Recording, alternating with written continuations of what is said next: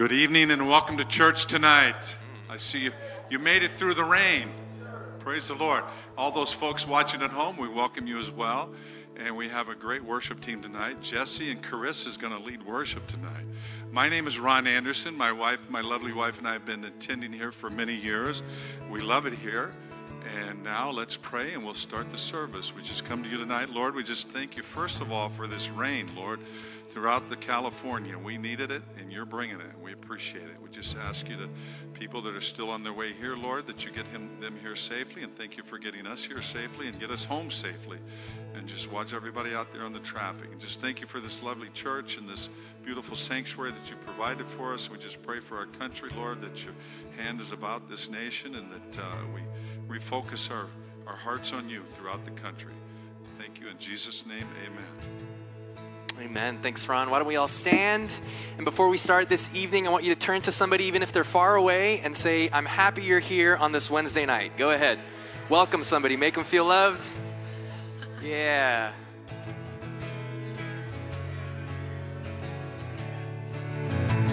Amen. Well, we're happy you guys are here. Let's sing together to the Lord this evening.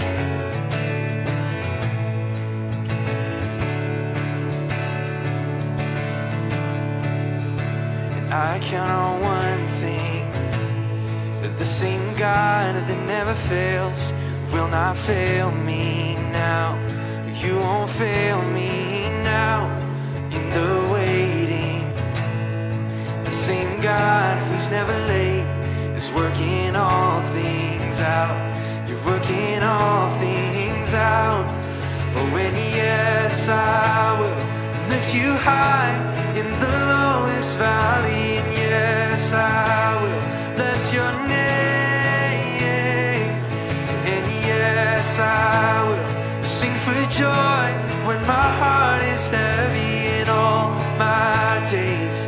Oh, yes, I will.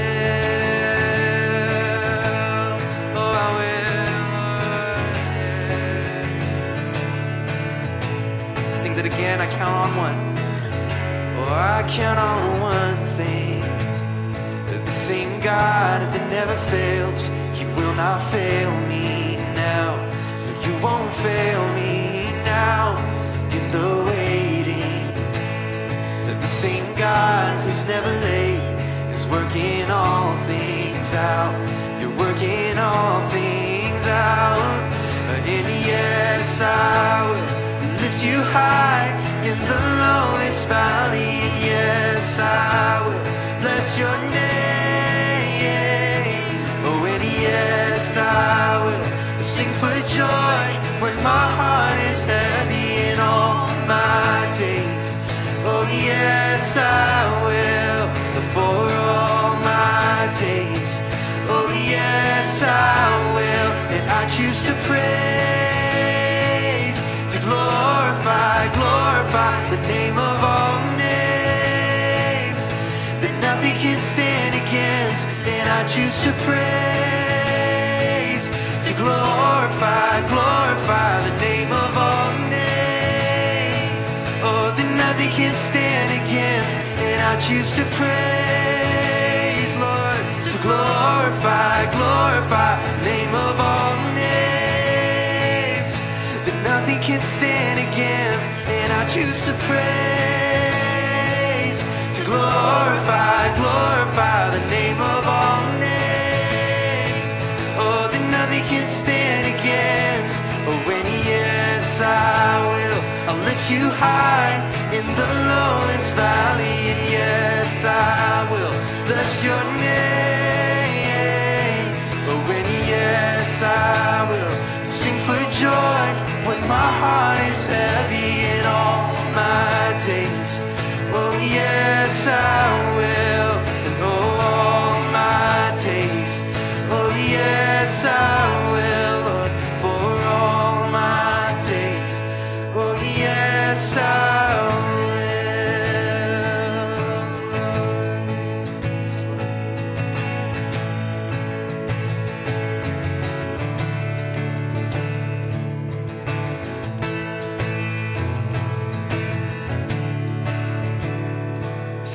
a thousand times A thousand times I've failed, still your mercy remains.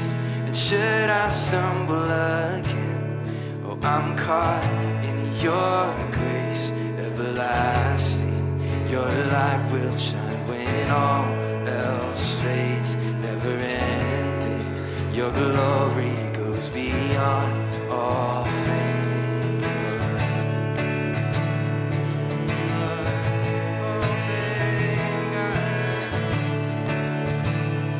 your will above all else.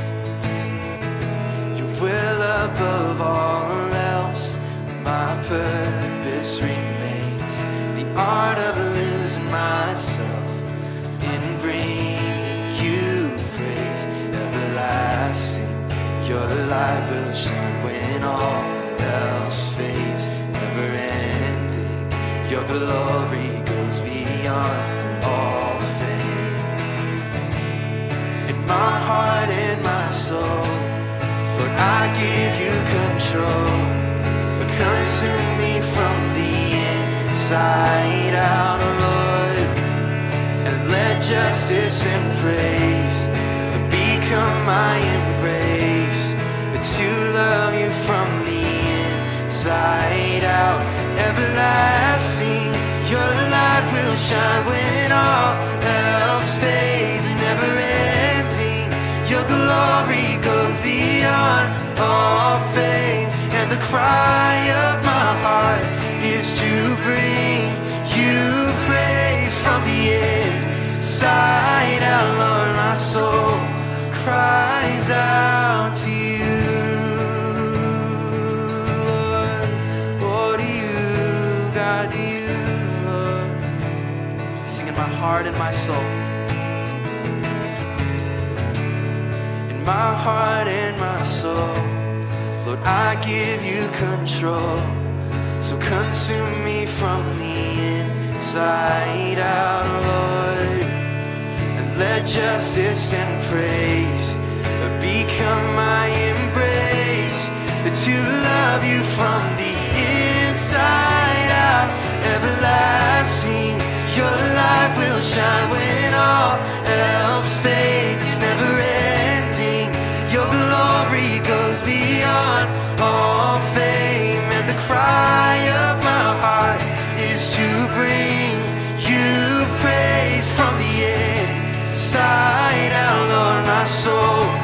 Cries Lord, you're everlasting. Your light will shine when all else fades, never ending.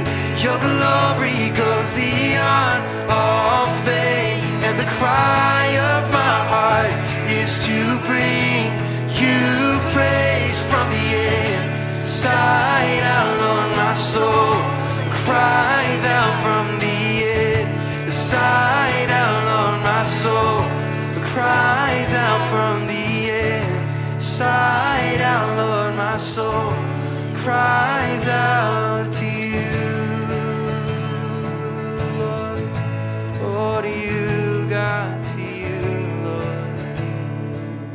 What we do is we sing these songs, God, this evening. We cry out to you from the very deepest part of our hearts, Lord.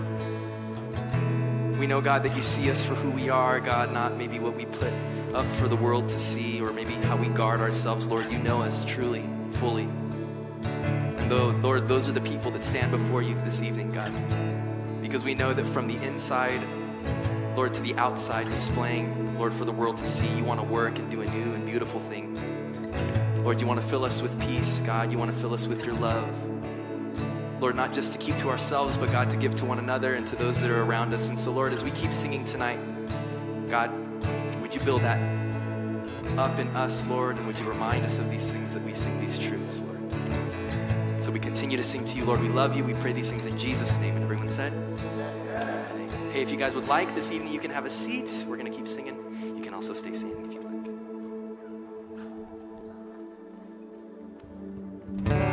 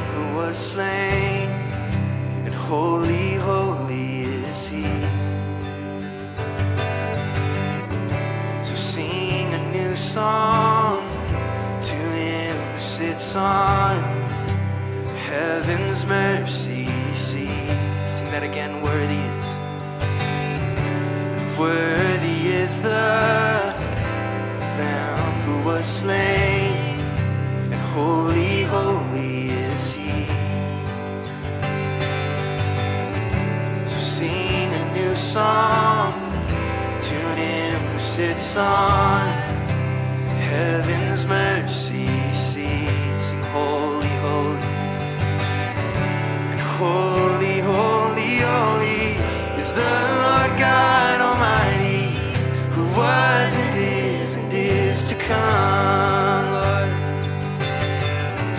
With all creation I sing praise to the King of Kings. You are my everything, and I will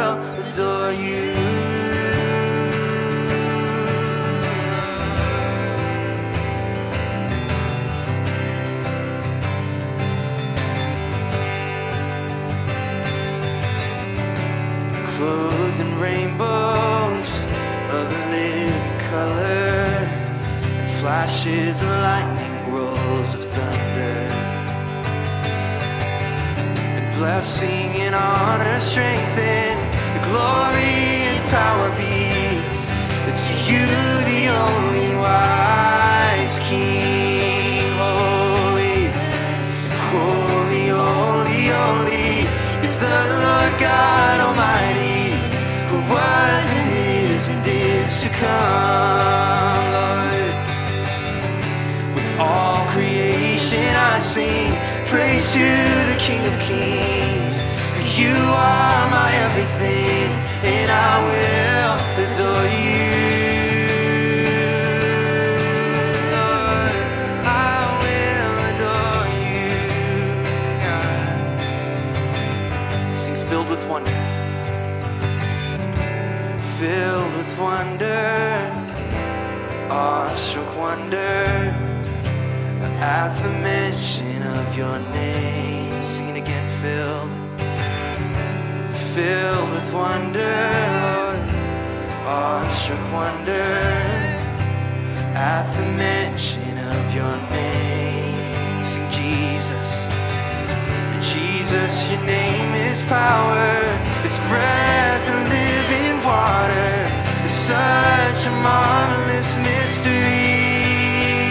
We sing holy and holy, holy, holy is the Lord God Almighty, who was and is and is to come, Lord. With all creation I sing praise to the King of Kings. For you are my everything, and I will adore you.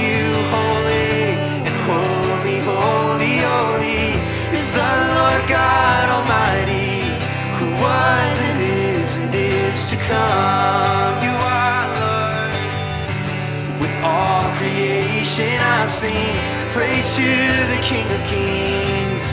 For you are my everything, and I will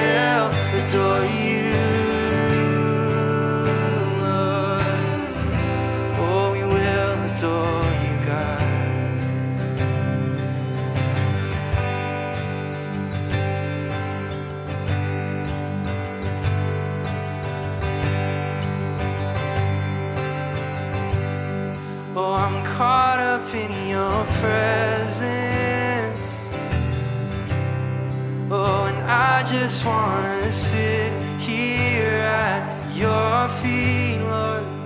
Caught up in this holy moment, and I never wanna leave. Oh, and I'm not here for blessings.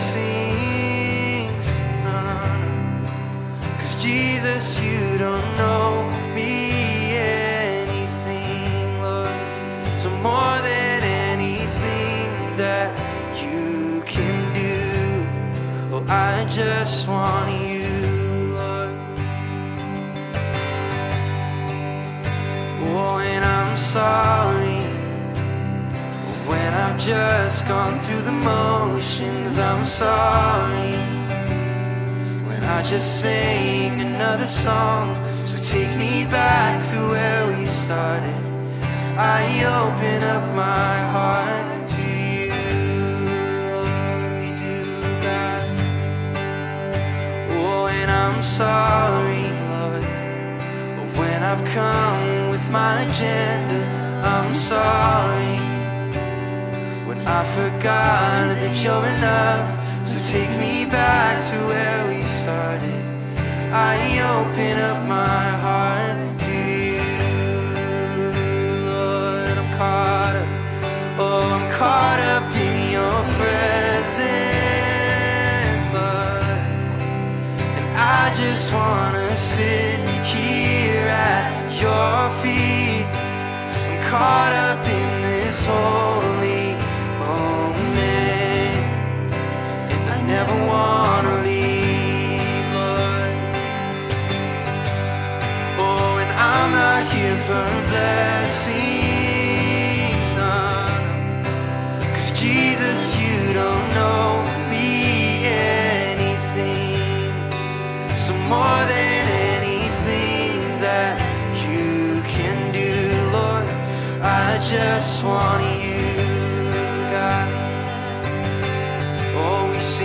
I just want you, and nothing else, nothing else, oh, nothing else will do. Oh, I just want you, God, and nothing else.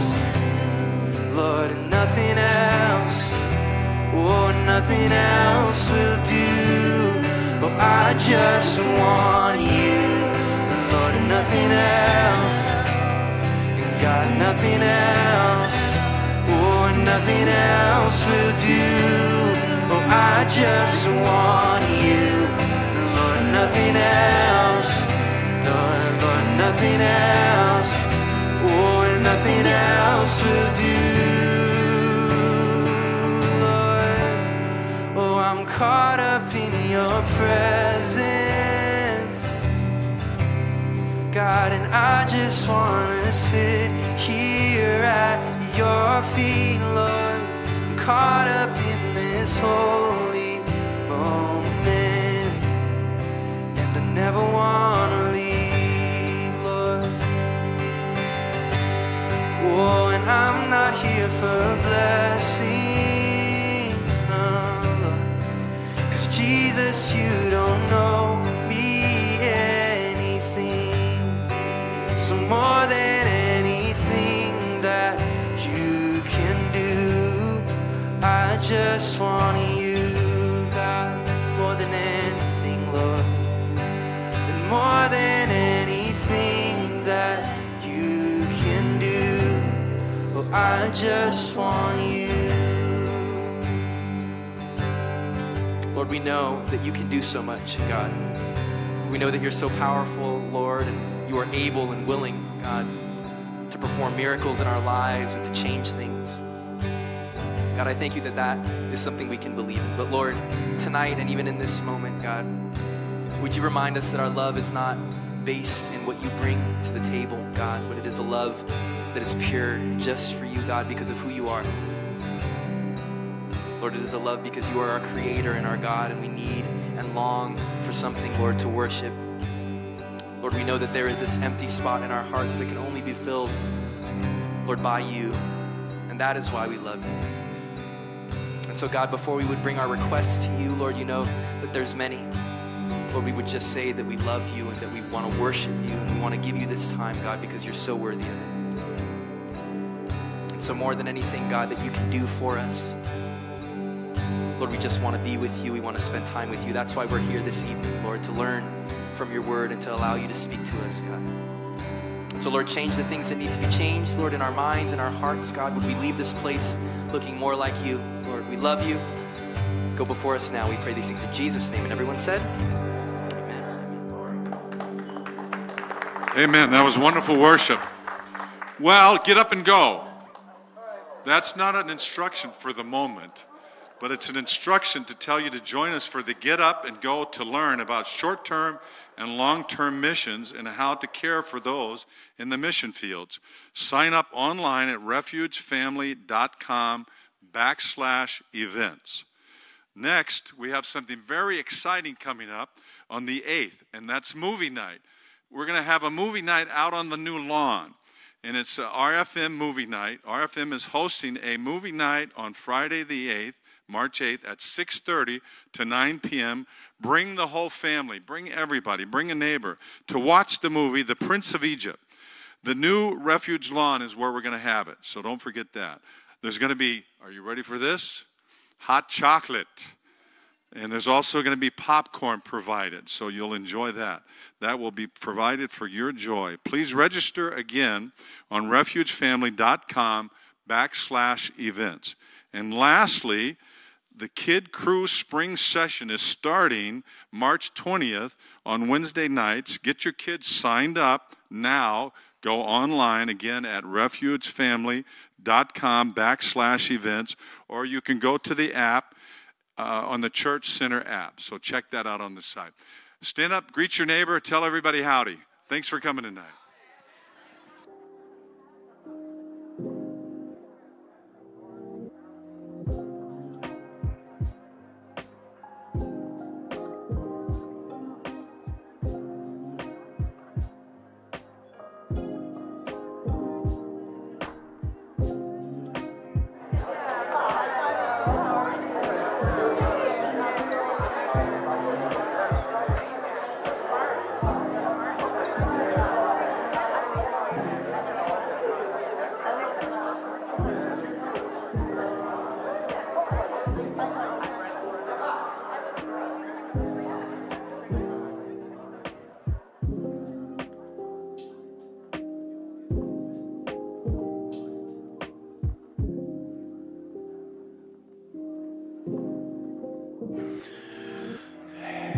Happy Wednesday.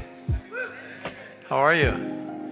Hey, if any of you prayed while Joy and I were away, thank you so much. God did some really great stuff up in the at the men's retreat in Montana, and uh, and Joy got to share with the ladies, and and I, I love it when when she gets released to do that. And people, how many of you don't find it surprising that people love my wife? Really, they do. And the, the ladies just, uh, they want to grab her and hold her, and they want us to move up there. No, thank you. Um, at least one person said no. At least, but but it, it, would be easy. It really would be an easy bunch of people to uh, to do life with, just uh, just like you guys. They really, truly refugees as well. They've they've adopted that name, but they really have that same culture about them, and, and it was so fun. Great time. We got snowed on, and then we got snowed on, and then we got snowed on. It happened about three, at least three or four uh, times. And you know, you can hear it when the rain, I mean, I'm telling you what you know. How many of you thought, I don't know if the roads are going to be open tonight to get to church? But you can hear it when the rain comes down, but you don't hear the snow. And you wake up and you think, oh, I'm ready to go for a walk. And you're wearing tennis shoes and you step outside and you're up to your knees in snow. But um, had, had a great time with uh, uh, uh, Travis and, and, Danielle, and they send their love down here to you. And there's some people up there from down here that have moved up there a long, long time ago. But thank you for praying. God, uh, God was faithful, and thank you guys for being faithful to pray as well. I want to ask you to, to be praying for a, a brother that is from our church here who was going to be here tonight, but uh, um, he, he couldn't come, um, partly because of the rain and, uh, and, and, that, so he, he's uh, staying home. But his name is Ricardo, unless he decided to come and he snuck in here somewhere. Is Ricardo here somewhere? No. If, how many of you shop, ever shop down at uh, Stater Brothers on, on Warner? You've, you've probably run into Ricardo. He's one of the checkers there. He's a tall guy and has worked there for years and years. And and uh, he just lost his mom this last week. In fact, it was while we were in uh, Montana, I got a, um, a text from him and, and, then talked to him for a little bit. And so he, it's just he and his brother now. His father passed away a few years ago, and the whole family was living together. Uh, but um, I want to pray for two things. Just pray for him in this time of grief and losing his mom.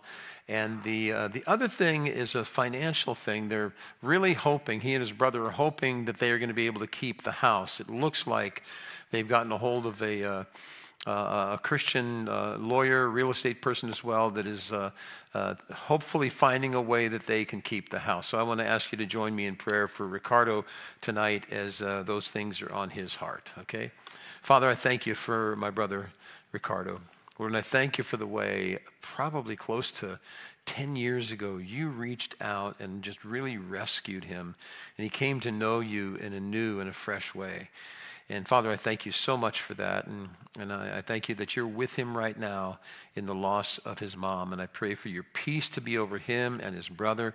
I pray you'd iron out all of these financial things, whatever it is with the house, and they'd be able to, to keep that and and continue to live there as, uh, as brothers, Father God. So we pray for your mercy over him tonight in Jesus' name. Amen. And Lord, as we open up your word this evening, we thank you for these scary chapters that we're reading in the book of Revelation about the future history of the world.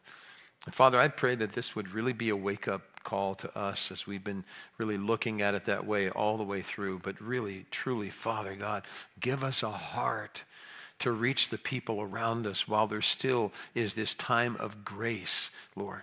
And pour out your spirit upon us. And we just pray that a movement that I believe has already started uh, just would continue to roll and roll and grow and grow around this world, Father. So much of it beyond the grasp, beyond the ability of anybody to manipulate it or to manage it. Lord, just I pray for a widespread, fiery revival to sweep this planet in these troubled times. And Father, we pray for our nation at this time too. However, anybody feels after the primary, Lord, our hope is still in you. And we look to you and we ask you, God, to be our King and to lead us. Speak to us tonight clearly, Father, from your word in Jesus' name. Amen? Amen. You ready to dive in? Did, did all of you get your, uh, your communion cup when you came in? Anybody not get it? Uh, we're going to be, uh, well, it looks like everybody has them. We're going to be doing communion at the end of our time this evening. So, in Revelation chapter 8 and chapter 9, uh, well, we did, we, we did eight last week, but we're not going to back up into eight. But in, in chapter nine and into chapter 10, we're going to at least read, hopefully, read chapter 10. We're going to cover it next week. But as we've been looking at this over the last several weeks, as it's really gotten really, really intense at this point, the mayhem continues. And uh, some really wicked beings are going to show up tonight. And so the wake up stories in the book of Revelation continue for us because God is determined to do all he can to wake up sleeping people. Yeah, you believe that? How many of you are thankful that he woke you up? Did, he, what, how much, did it take a lot of shaking to wake you up? Did it take disaster to wake you up? It would have been smart if we would have listened before the disaster hit, but God is faithful to do what he needs to do to get us where he wants us to be. So we're going to start tonight I think I have it up here on the screen. We're going to read from uh, one, one verse from uh, Revelation chapter 8, verse 13. And I thought I'd put it up here and we could all read it together in same language and same translation. Let's read out loud together. And I looked, and I heard an angel flying through the midst of heaven, saying with a loud voice. Do you have a loud voice tonight? Find your loud voice and let's read it out loud.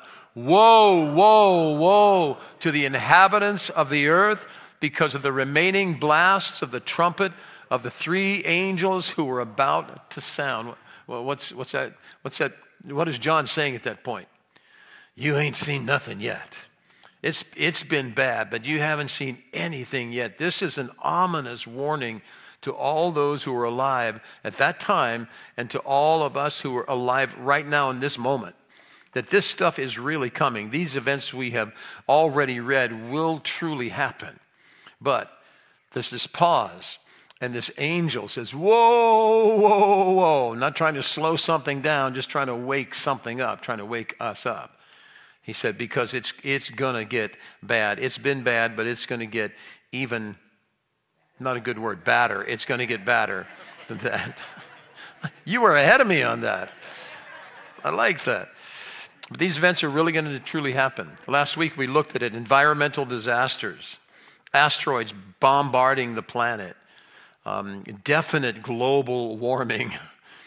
global warming, then I'll tell you, um, you got a Prius, that's fine. You know, you, you got a Tesla, good for you, but your Prius and your Tesla won't avert this global warming. It's, it's not going to keep things from getting to where they are. Catastrophic disasters at sea, fresh water supplies destroyed. A third of Earth's natural sunlight and, and reflected moonlight and starlight, it, it fades out. And that was just four out of the seven trumpets sounding from these angels. Now, as, as we said before, I want to say it again. Woe, woe, woe is coming because of the three trumpets that haven't sounded yet. So, in a way, this angel is saying, Buckle up, because here it comes. And it's going to be worse than anything you've seen. All, all of that was bad, maybe even unprecedented. Um, I mean, maybe, maybe even Noah's flood, maybe even worse than yes, Noah's flood was devastating, and it changed this earth that we live on. But now we go from, this is the title I've given it tonight. We go from bad to worse part one. We'll get part two of From Bad to Worse next week. And it definitely goes from bad to really, really bad. Revelation chapter 9 through 11 covers the last three of these trumpet judgments. And so let's open our Bibles to chapter 9, and uh, we'll take these three trumpets one by one, starting at verse 1 through 12. The fifth trumpet, the first woe. Why am I in Daniel? when you guys are already where you belong.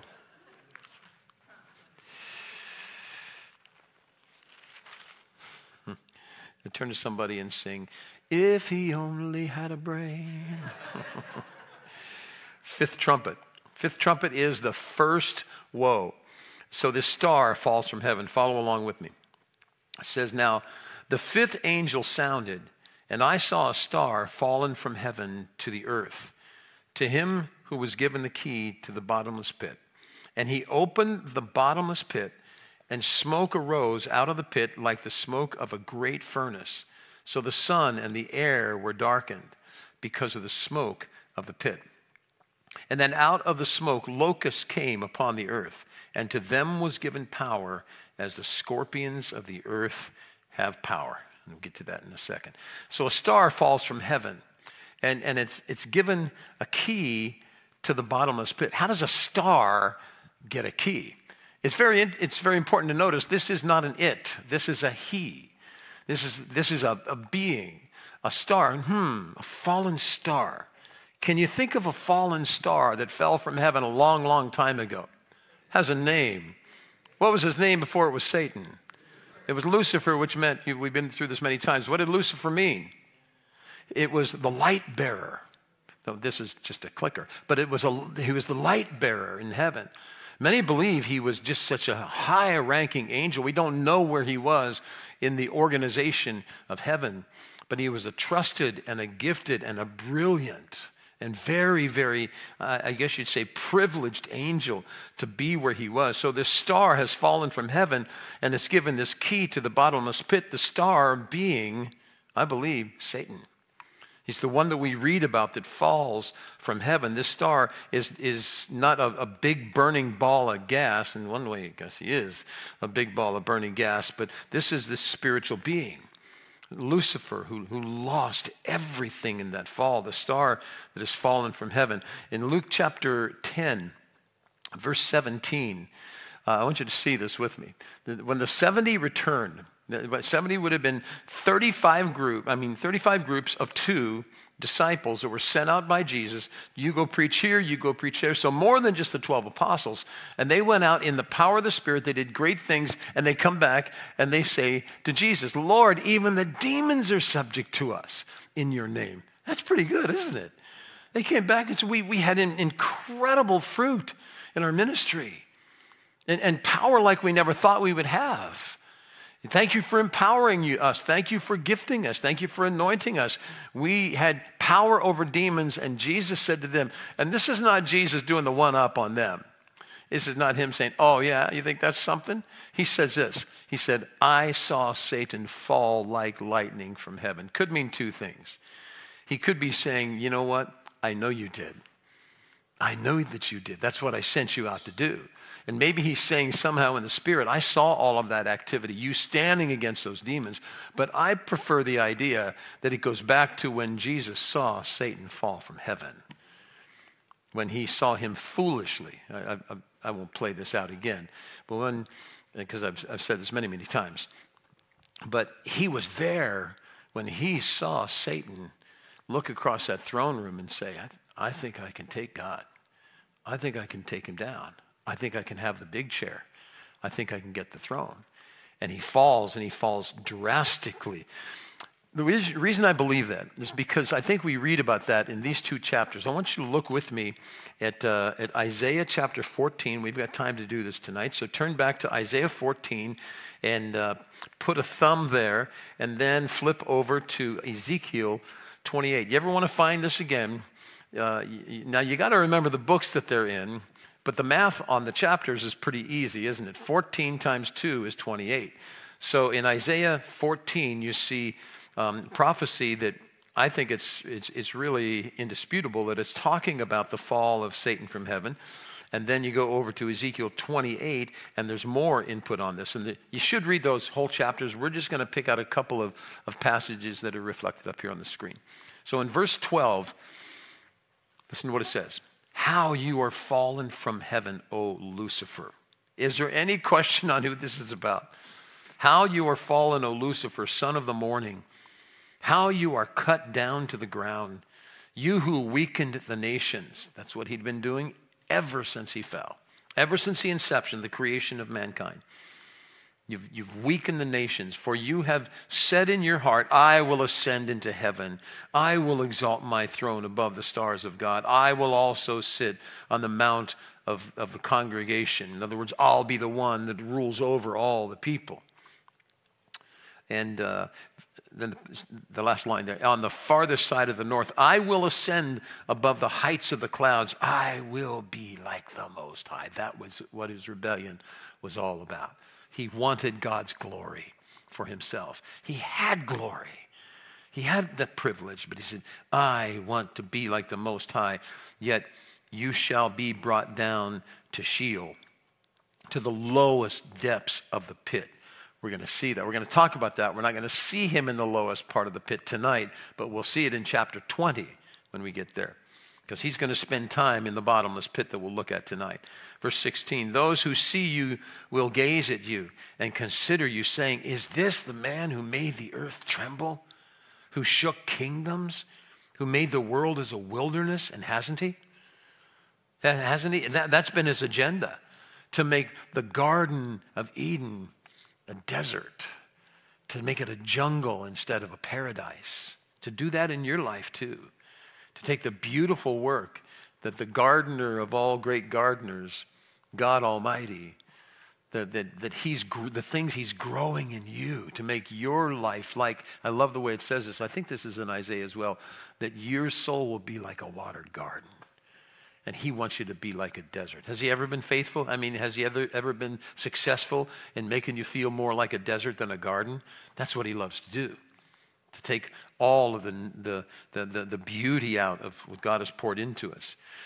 And uh, he, he who made the world a wilderness destroyed the cities, who did not open the house of his prisoners. All the kings of the nations, all of them sleep in glory, everyone in his own house. And I think I went a little bit too far there. But read that whole chapter later on. Now flip over to um, Ezekiel chapter 28. And we'll look from verse 11 down to verse 19 says this Moreover, the word of the Lord came to me, Ezekiel says, saying, Son of man, take a lamentation for the king of Tyre and, and say to him, Thus says the Lord God, You were the seal of perfection, full of wisdom and perfect in beauty. You were in Eden, the garden of God. Every precious stone was your covering the sardius, the topaz, and diamond, beryl, onyx, jasper, sapphire, turquoise, emerald with gold. The workmanship of your timbrels and pipes was prepared for you. On the day you were created, you were the anointed cherub that covers. That is a high rank that, that, that Lucifer was in. I mean, Lucifer's become a bad name, but, but make no mistake, Lucifer was a great name. He said, You were the one that covered the angel that sort of covered. Some people believe that that means, some scholars believe that that phrase means he had the privilege in heaven that Jesse has here in our congregation. He was the appointed worship leader in heaven. And many scholars believe that that's what that means. The anointed cherub that got to say to the angels, Come on, brothers, let's lift up our voices and, and worship the Holy One. You were the anointed cherub who covers. I established you, God is saying. You were on the holy mountain of God. You walked back and forth in the midst of fiery stones. And you were perfect in your ways from the day you were created till iniquity was found in you. And by the abundance of your trading, you became filled with violence within, and you sinned and therefore I cast you as a profane thing out of the mountain of God, and I destroyed you, O covering cherub, from the midst of the fiery stones. Your heart was lifted up because of your beauty. Man, can you picture that? I don't know if there were mirrors in heaven, but if there were mirrors in heaven, I, I could just picture, you know, Lucifer saying, Oh man, I do look good today. I'm something else. I deserve more glory. You corrupted your wisdom for the sake of your splendor. I cast you to the ground. I laid you before kings that they might gaze on you. You defiled your sanctuaries by the multitude of your iniquities, by the iniquity of your trading. Therefore, I brought fire from your midst. It devoured you. And I turned you to ashes upon the earth in the sight of all who saw you. And all who knew you among the peoples were astonished at you. You have become a horror and shall be no more forever. I don't know if, it, if it, just the heater went off, but I just got a chill reading that. It's true. Now, now, some people would say, well, that applied to earthly kings too. Well, of course it did. Because he loves to, to make earthly kings do what he did, which is what? Desire to be like God, make it to the top office. I'm not just talking politics tonight, I'm talking human history. It's always been those that want to, to reach out for the same thing. It's always been the same foolish game. It's typical of, of, of so many human leaders, isn't it? They, they all want to be treated like what? Like God maybe love to be treated like God. How, how few there are that are really, truly public servants of the people. Well, it's, it, like I said, it was true of God, but I mean, true of, of, of, kings, you know, earthly kings and, and princes and princesses and even, and even presidents and whoever the head of state might be. Because Satan loves to seed that into the heart of the power seekers. And be careful of that. It's typical of human leaders. They all want to be just like God, but it reflects the heart of Satan. Satan tempted Jesus. Do you remember that? Do you remember what, what, did, what did Satan say to Jesus? I mean, there were three major temptations. By the way, I think, uh, I think it's true what the scripture says. He was tempted by the devil for 40 days and 40 nights. And it says at the end of that, we get the script on three of them, just three of them. It was 40 days of horrendous temptation from the devil. But do you remember that one where he says, Look, if you'll just bow down to me, all of this can be yours. All the nations of the world will be yours. Isn't that what you want, Jesus? Oh, yeah. That's what he came to get. But he knew how to get it. He knew how to get it for the sake of the people, to give his life away, not to trample the people to get up on top. So he tempted him and said, Bow down and worship me, and I'll give you all the kingdoms of the world. And it's bad enough that, that Satan is turned loose, but then he's given this key. Now let's go back to our text in, in Revelation. He's given a key. So he shows up, and now he's handed this key. To him was given the key to the bottomless pit. And he opened the bottomless pit. Oh, I was hoping he wouldn't open that thing. There's some gnarly stuff that's coming out of there. He's given the key to the bottomless pit. In the, in the Greek, it's the abuso. We get the word abyss from that, and that's good enough to use for that. So he opens the, the abyss. And you know what the abyss was? It, it was a maximum security prison for some really fierce fallen demons, for some evil spirits. Now, I believe that these spirits are most likely there right now. So these are extremely evil ones, and I can't imagine. I mean, if the ones that are out and, and moving around right now are, are wreaking such havoc, what's going to happen? Well, we're going to see what happens when these ones come out, come belching out of this, uh, um, this, this abyss. But so Satan is turned loose here in this maximum security prison for some really, really nasty angels. And there's a, remember this in Luke chapter 8. Remember the encounter with the demoniac? The, the, demoniac in Gadara on the east side of the, the Sea of Galilee. We don't always go over there, but about half of the time that we take trips there, we go if it's open. And um, so you're over on the hillsides on the east side of the Sea of Galilee, typically either looking right across at Capernaum or right across at Tiberias, which is the modern city today. And, and um, Somewhere over there, Jesus went across the Sea of Galilee through a storm to reach one demonized man. And when the encounter takes place, the man comes running to him. How is he dressed? Well, he's not dressed at all. The only thing he has on that we know of are probably some of the remains of the shackles on his wrists. And he's screaming at Jesus as he's coming, saying, Get out of here, in, in so many words. And Jesus sets the man free. But do you remember the, the encounter and the talk that he has with, with the man? He says, um, What's the name? What's the name of that demon? And, and here's there's a there's a disagree. How many of you disagree with yourself sometimes? I have an argument within my own mind here. Was there one demon or were there many demons? Jesus asked for the name of one. He said, What is your name? He doesn't say, What are your names? And so the voice from the man must have sounded gnarly. He said, Oh, our name is Legion because there's a lot of us in here. I'm not going to trust anything a demon says. I think it could have been one demon bluffing, thinking that he would scare Jesus away. You don't want to fight with all of us, but whatever, whatever it is. In the conversation, he says, So, how many, uh, who are you? What's your name? He says, We're Legion, for we are many. And the, and the, the demon you know, through the voice of the man says, Don't send us into the what? Abyss. Oh, please don't send us into the abyss before we're all going to end up there. Anyway, this place was notorious among the demonic world. And there were some gnarly, gnarly demons that were down there. And so they're saying, please don't send us there. So stand back because this thing is about to be, the, the, the, the lid of this abyss is about to pop open and some nasty stuff is going to come out of there. So let's look at verse 2. And then we'll read down and we'll make some time right now. Okay, we're going to speed up. And it says, And he opened the bottomless pit, and smoke arose out of the pit like the smoke of, of a great furnace. And so the sun and the air were darkened because of the smoke of the pit. And then out of the smoke, locusts came upon the earth and to them was given power as the scorpions of the earth have power.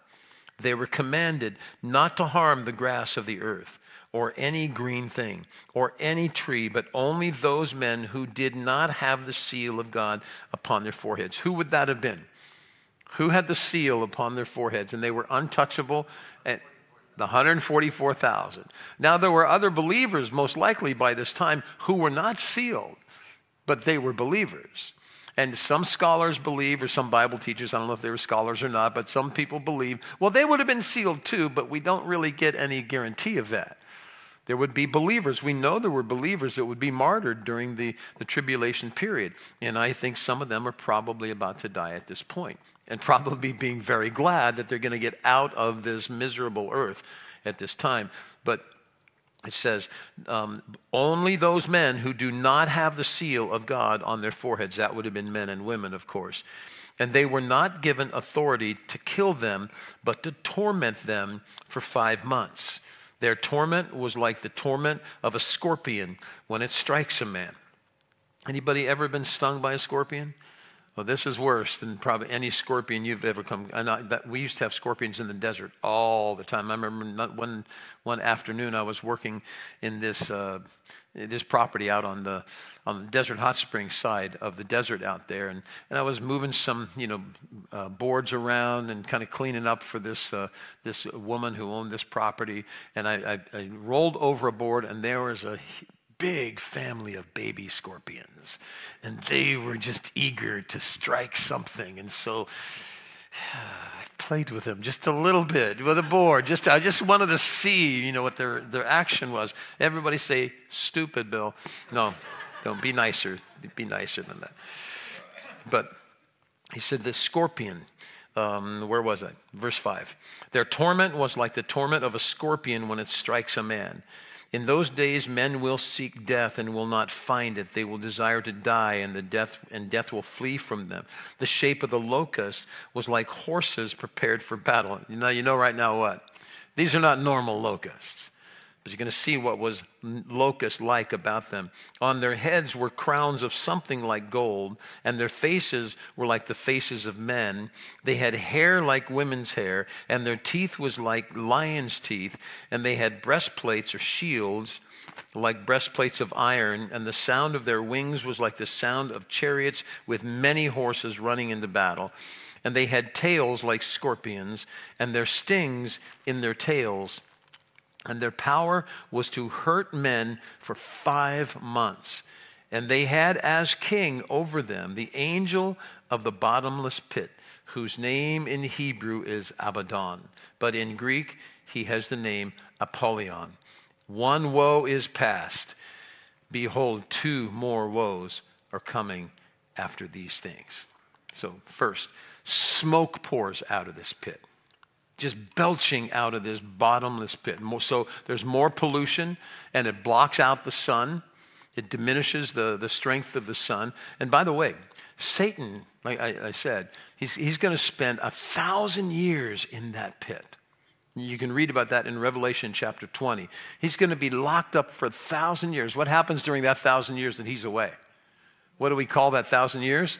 It's the millennium with no demons bugging anybody with Satan's plans just completely thwarted for a thousand years. He's not tearing up culture anywhere. For a thousand years, he's put out of reach. But right now, the hordes of locusts escape. And, they're not locusts like I remember in, in Ohio. Anybody live in a place where locusts showed up? Like it was, was there the seven year locust, and sometimes I think, wasn't there the 14 year locust too? Just remarkable critters.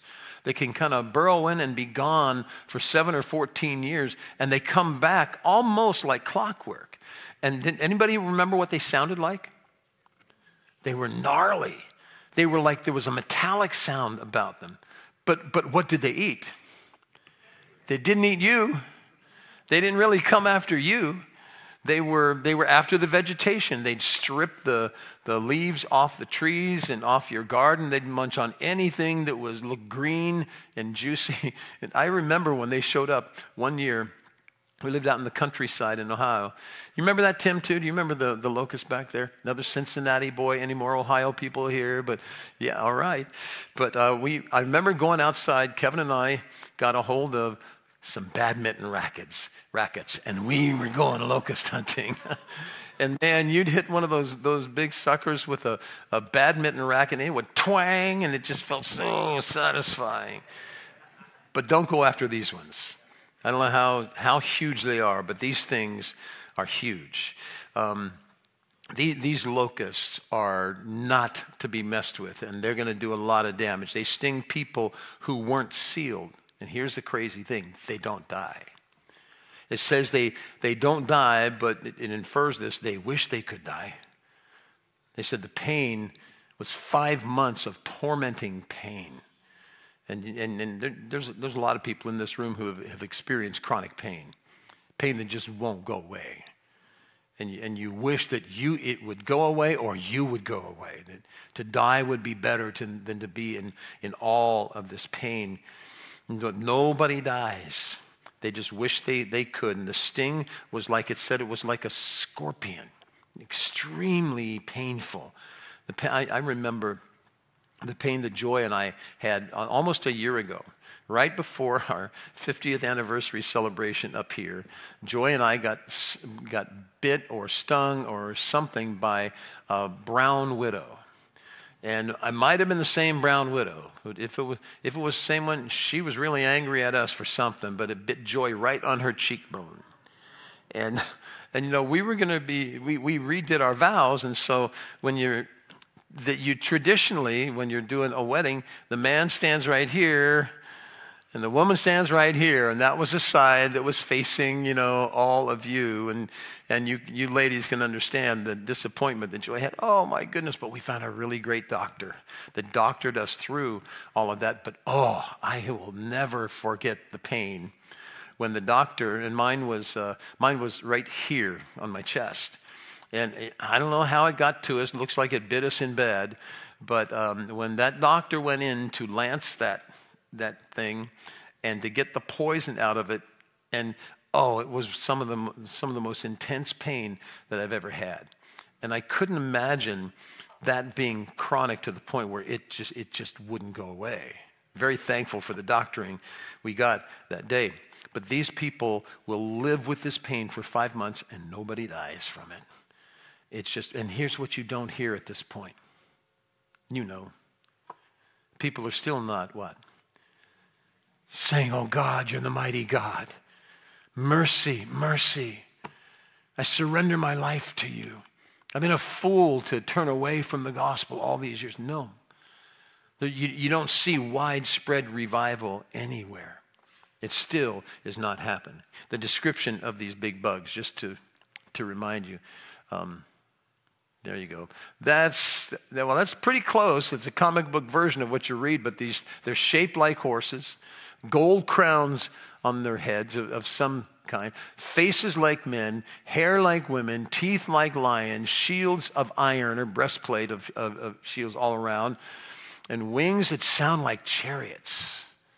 Sounds like horses being, uh, you know, drawing chariots, and the, can imagine the rumble of the horses? Now, a lot of people said that sounds like modern military equipment and I, I, have never seen a plane that looks like a locust. I'm just saying, okay?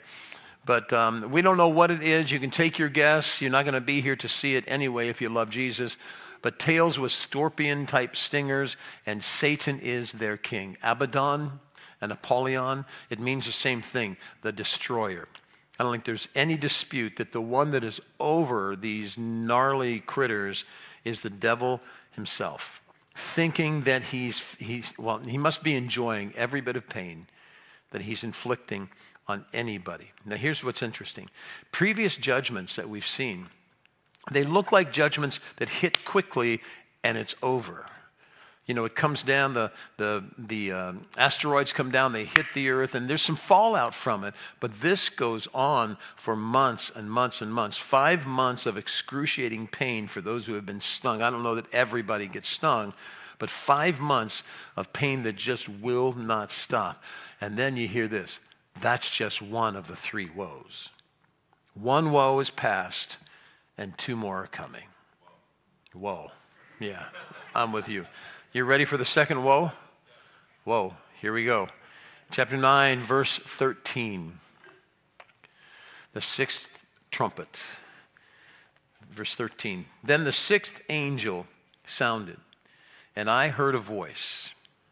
Heard a voice from the four horns of the golden altar which is before God saying to the sixth angel who had the trumpet, Release the four angels who were bound at the great river Euphrates. So the four angels who had been prepared for the hour and day and month and year were released to kill a third of mankind. And now the number of the army of the horsemen was 200 million. I heard the number of them. And thus I, he didn't count 200 million, but he heard the, the number of them was announced that there's 200 million soldiers, uh, the army of horsemen. And I heard the number of them. And thus I saw the horses in the vision.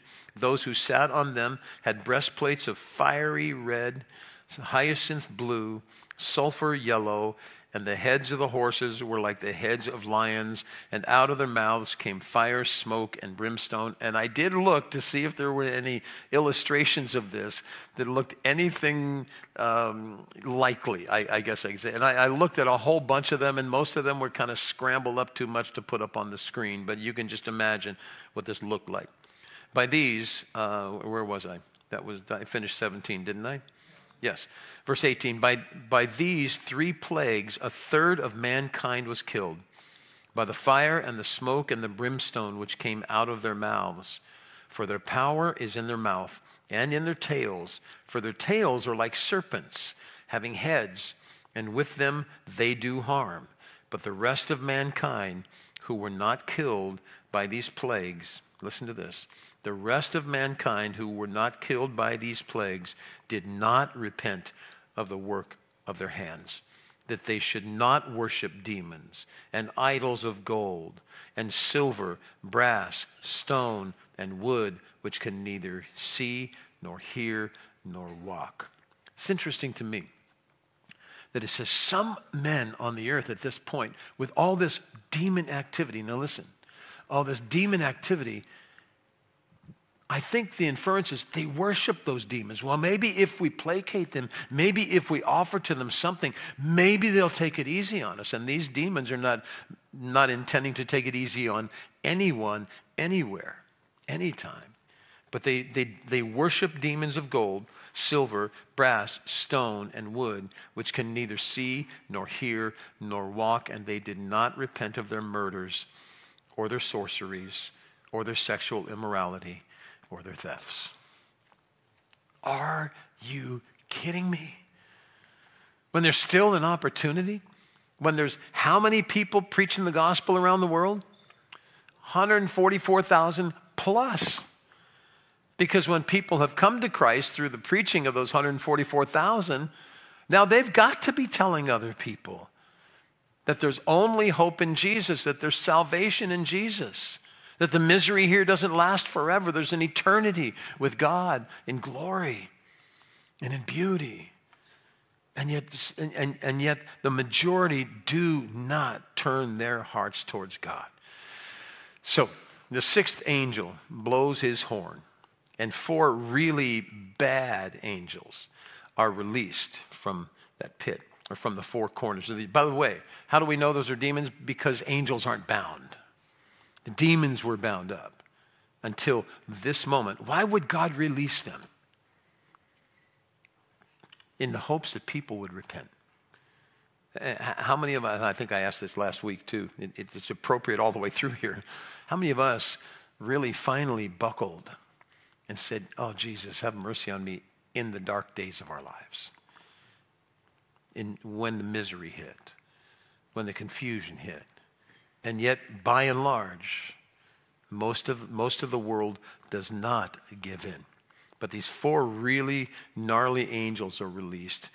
And, and these are the, also the, the fallen angels, obviously. They're, they're demons. And I'm, and I'm so thankful that these, these ones are not released now. These ones are, are bound right now. But when they're released, oh, the, the mayhem on this earth, they're released at a precise moment. Notice that. At a certain hour, day, month, and year. And we're not given the date. I know you want the dates, but we're not given the date. But it's at a very, very specific time. It'll be on the calendar. But the fourth seal results in 25% of the earth dying. Now, another third die.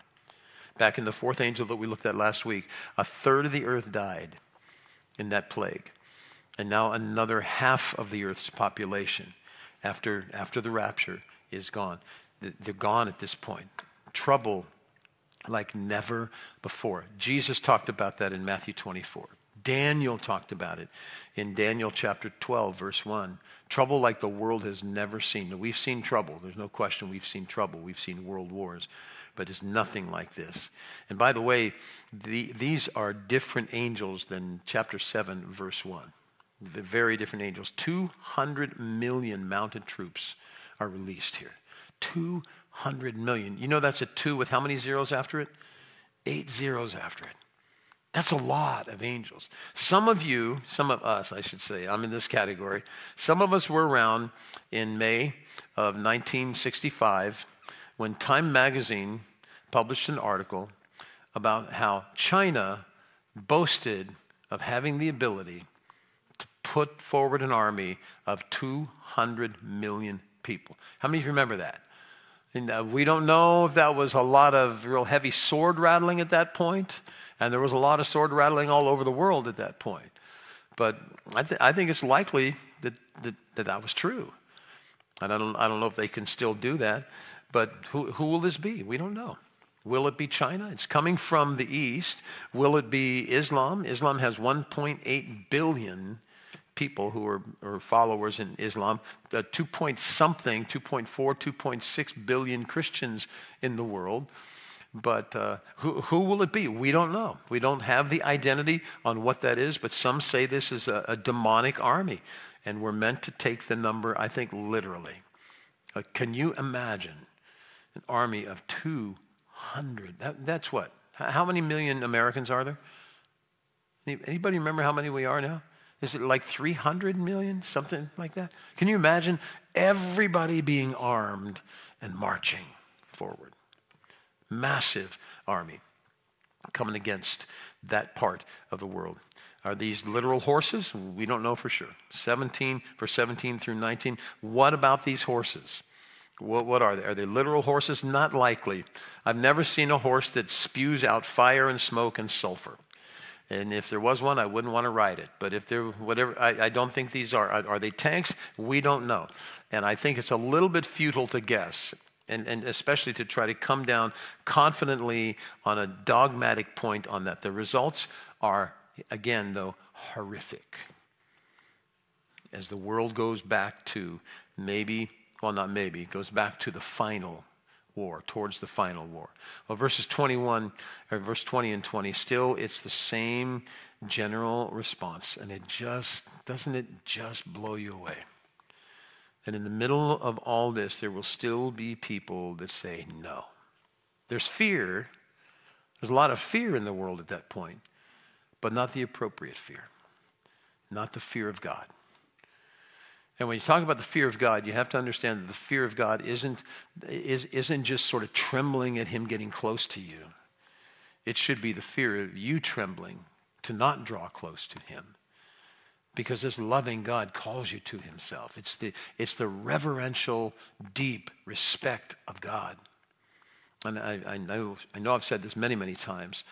Uh, my understanding of the fear of God leads me to, to live the kind of life my purpose is to live the kind of life that I, I want to be afraid to do anything that would break the heart of God or harm his work or bring shame to his name. I want to stay away from the things that would pollute my life. I want to love God so much and respect him so much, the gracious God who's loved me enough to do what Jesus did for me to come to this earth in the form of the Son of God and suffer horrendously for my sin. I have no idea what put Jesus on his face in that garden of Gethsemane.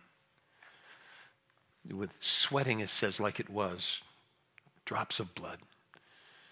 And for him to stand up, I mean, Jesus was the, had to be the most confident human being that ever lived. God in human flesh has got to be pretty confident. And for him, right at the end, to say, Father, let this cup pass from me. What was he saying? I, I, I don't want to do that. Let this cup pass from me, but I know I have to do that. Nevertheless, not what I want, but what you want. And I, I know people, the theologians love to, to haggle over well, did Jesus really have a choice there or didn't he have a choice? Well, it sure sounded like he was wrestling with something for real. But don't you love where he landed? Nevertheless, Father, not what I want, but you. Why? We'll look around you.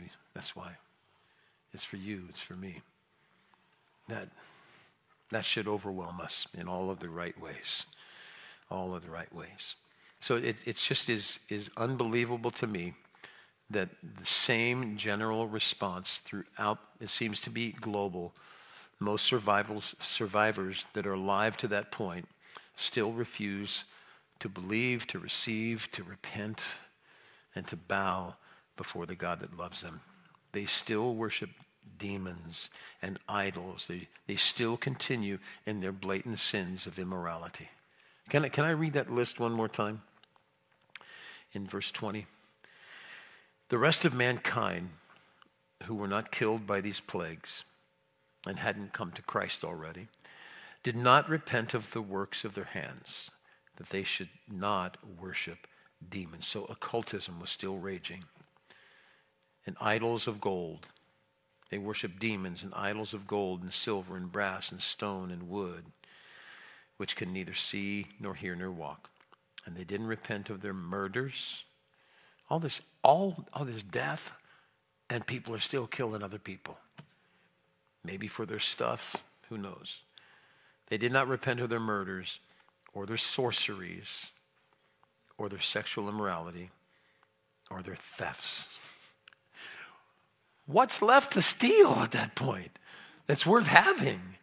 That people are still stealing and sleeping around and committing adultery and worshiping worthless demons. Just, it just still blows me away. Well, the sixth trumpet judgment produced fear, but not the fear of God. Uh, certainly not worldwide re- repentance or widespread repentance. And that's all the further I think we're going to go tonight. I was going to read to you all of chapter 10, but we're going to do communion here as well in a moment. But some messages from God are not happy, happy, happy messages. It has a happy end if we, anytime you listen to what God has to say, there's a happy end to that. There's a, a, worthy, a worthy end to that. But our response tonight is the same, or the way that I want to end anyway, is the same as we did last week with the question how, okay, okay, you know it's coming. How many of you believe this stuff is really going to happen? How many of you think we're living close enough to the end that we know people who will not go home with us and will be left behind? How many of you want to do everything you can to keep as many as you can from getting left behind? And that's, that's, that's our only marching order here is to go into all the world and preach the gospel to everyone. We should put, I, I, should type this out and put it up on the screen. So this is the way that I see the, because uh, I've, I've said it constantly, but this is the way that I see the Great Commission. As you look at it in all of its forms in the Gospels and then in the book of Acts, where, where Jesus says, Go everywhere, tell everyone, their sins can be forgiven. Make disciples out of those who believe. Those who say yes to Jesus, make disciples out of them. And, and, and, and do what with them? Take them into the world to reach other people. And, and Jesus said, and do it in the power of the Holy Spirit. Wait, he said, in Jerusalem till the Spirit of God comes upon you, and then go. And, and the, the, the whole point of the Spirit of God coming down upon me is not to, to give me a, a, a, a, happy little jumpy time in church, but, but it's to anoint me to go out with the gospel into the world and reach people who don't know him yet. So Jesus said, and then go do that. And what do you do with people that say yes to Jesus? Make disciples, help them grow up in Jesus, spend time with them, listen to their questions, and walk with them, and, and, and work with them as they grow into the, the witnesses that Jesus wants them to be. So, who do I know who needs to know what I know about Jesus? And who will I run into tomorrow? And what opportunity is going to open up for you tomorrow? So here's the big question for you Do you want to be a part of God's plan to rescue souls? That's his plan. I mean, look around the room. This is his, this, this, these are his operatives for this mission. Your mission, should you choose to accept it, is to go into the world and live for Jesus and look for opportunities to to draw people into the family of God. Do you want to be a part of God's plan to rescue souls? That's his plan of salvation. I had an amazing conversation with a young man recently who really wants to reach people for Jesus. He's, he's rather new in his walk with the Lord, but he's excited to be walking with Jesus. And told me a story about a friend of his who just received Jesus and, and, and, their buddies. And uh, he was able to, to take him along somewhere, and he heard the gospel, and he received Jesus. Do you know how excited that young man was? That his impact on that other young man resulted in this. Now they're brothers in Jesus. How many of you have ever had that joy of helping someone come to Christ? And I bet, you know what? I'll bet you've had more impact on people than you think you have. Because you wait till we get in heaven and, and find out exactly, exactly how many people we were able to touch. But he, he asked me a very serious, heartfelt question the other day. He said, What's the best way to do that? What's the best way to, to, uh, to help somebody understand or to maybe open up a conversation about Jesus? And we had a great talk about that. And I think it has a lot to do with just listening to somebody, seeing where their hearts are. We, we, we've, uh, we've got a lot of people in this family that love to go share Jesus. Let me see the hands of those people love to go. Uh, come on, come on, come on, yeah. And if you know someone who's doing it well, Go along with them. Say, teach me how to do that. And, uh, and have impact wherever you go. I've, I've found this verse. Well, I, I mean, I, I was reminded of it. I've known it for a long time. Uh, if you turn to Isaiah chapter 6, and this one came to mind for me uh, today, and I sent this off to my friend. It's in Isaiah chapter 6.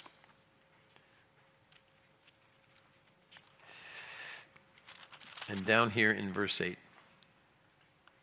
I also heard the voice of the Lord saying this Whom shall I send? And who will go for us? It sounds like Father, Son, and Holy Spirit are talking, right? Who will go for us? What messenger can we send? Who will go? Whom shall we send? And then Isaiah says, Hear me. Uh, uh, ooh, ooh, ooh, ooh, here I am. Isaiah said, Send me. Oh, I want, I want to ask the question. I'm, I'm not looking for a spontaneous, ooh, ooh, ooh, ooh, me response, but how many of us here can maybe hear the voice of the Lord saying, Who can I send? How many of us here would be ready to say, Lord, I'm, I'm ready. I'm, I'm scared. I'm not sure I'm qualified. I'm, I'm not sure I'm the sharpest knife in your drawer. But Lord, I want, I want to be used by you. I want to be sent by you. And he says, Here, here am I. Send me. And then he said, Go to Isaiah, go and talk to these people. And God would fill his mouth. The, the verse that says, Open your mouth, wide and I will fill it. it, is not talking about a maple bar. Open your mouth and I'll give you the words. Now, what's that saying? Step out. Take the first step of faith. Don't convince your, don't deceive yourself into thinking, well, I got to have about three or four years of theological training before I can go out and witness for Jesus and tell somebody. Just go tell somebody what Jesus has done for you. And will you tonight say, Lord, here am I, send me? Well, how do you start those conversations with somebody you care about or a stranger on a flight from Orange County to Bozeman? How do, how do you do that? How, how do you get that started? You start with a smile. You start with a greeting.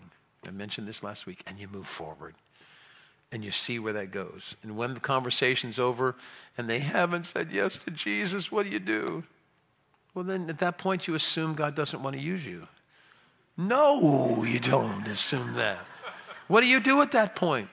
You pray for them as they walk away. And they may say, I'm, I'm really not interested in that at all. Well, you don't say, Well, I hope you like hot weather, buddy. you love them enough to keep praying for them and pray that God leads them to the right person. But start boldly and move out. And Father God, I just pray that as we uh, take time tonight to linger with this simple little meal that we have in our hands. Mm this bread that speaks of the body of Jesus and this cup that speaks of the blood of Jesus. It's a profound statement that we make tonight, Lord. This is not ritual to us, Lord. Oh, and please, my friends, don't let this be ritual to you. Linger for a moment and put that bread in your hands like the, the men around that table that first night would have had it in their hands. And realize what it's, what it's speaking about is the body of Jesus. Mm. Joy's going to be speaking about this with you ladies next week.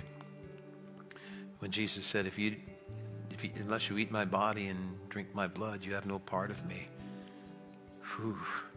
That was, that was confusing to the people at that table that night. And the people he said that to in John chapter 6. But we get it now.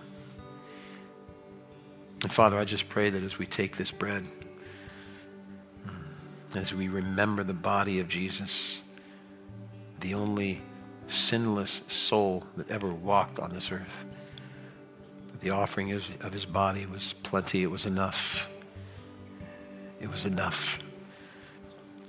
As he allowed his body to be loaded up with our sins. Oh Lord, forgive us for embracing the stuff that took you to the cross. Set us free, Father God, from actions and attitudes that would displease you. Help us to replace those actions and attitudes, Lord, with love and obedience and praise and surrender. Let's pray like this Father in heaven, thank you for the body of Jesus that was sacrificed for my sins. I believe, I believe what he did was enough to save me. I take this in remembrance of his sacrifice. In Jesus' name, amen. Let's eat the bread. Thank you, Jesus. Thank you, Jesus.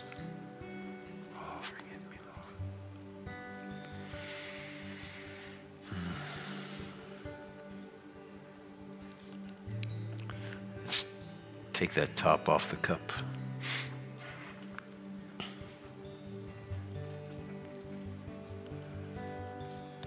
The Bible says Jesus took the, the cup after supper. And he said to his disciples, Take and drink. This is my blood that is shed for the sins of the world. He said, Do this in remembrance of me. In so many words, he's saying, Let this sweet taste remind you of the sweetness of salvation that I'm about to purchase for you. And if there's somebody in here tonight or somebody watching this uh, online and you've never stopped to thank Jesus Christ for dying for your sins on that cross, and surrendering the rulership of your life to Him, oh, please let this be that moment right now. Pause and, and tell Him in your own words that you're ready to receive Him as Lord. You're ready to give him leadership of your life. You're done with the idolatry and the darkness and the stealing and the adultery and the whatever other sin. You're coming to him. Go ahead. Go ahead. Pray in your, in your own in your own way right now. We'll, we'll linger just for a few minutes, a few seconds really while you while you call out to Jesus and ask him for salvation. And receive him. Thank you, Father. Forgive me, Lord. Oh, Jesus. Oh, Jesus. Oh, Jesus. Yes, Lord, thank you for the blood. Thank you that you drank the bitter cup so we could drink the sweet cup of salvation. And we do that now. In Jesus' name, we remember. Amen. Amen. Let's take together.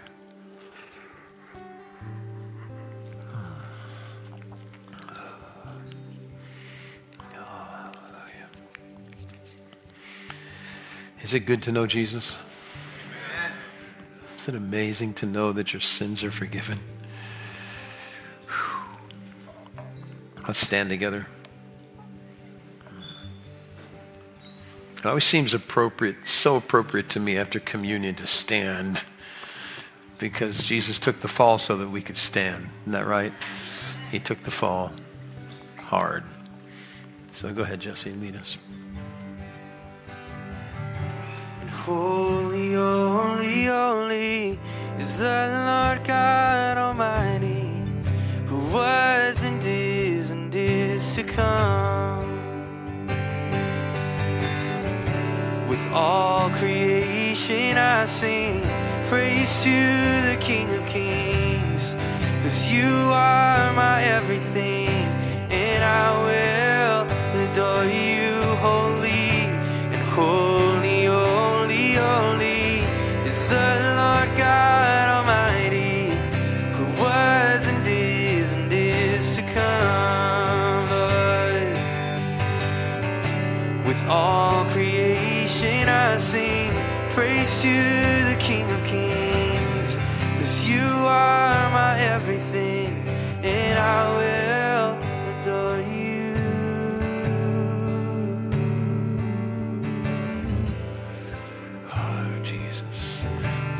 Extend our hands up to Him. Lord, we lift our hands to you. We lift our hands to you, Lord. Lord, souls that you've set free, Lord, shackles gone. Thank you for calling the enemy out of our lives, calling us to step out of the darkness into the light. God, we love you love you and we're so thankful, Father, that you haven't stopped working on us. We're so far from perfection, Lord, but we have a perfect Savior. And we lean upon him for strength. Lord, help us to follow you, Lord, out into the fields of harvest. Lead us to the people that you've prepared for us to shed some light upon and pour some love upon. And we're ready for that. God, I pray that you would bless these witnesses as they step out into their neighborhoods and their workplaces and the um, ball fields and just wherever they find themselves, Father God. Use us for your purposes, God. Here we are. Here we are, Lord. Send us. Reach up real high if you mean that. Lord, here we are. Say it to him. Say, Here I am, Lord. Here I am. Here I am, Lord. Send me and use me in the name of and for the glory of and in the power of the name of Jesus. Amen. Amen. Amen. Amen. Uh, next week, chapter 10 and 11. I'm determined. Next week, chapter 10 and 11. And uh, so hang out if you need to, pray with one another, and, uh, and, and, and go glorify Jesus together. God bless you.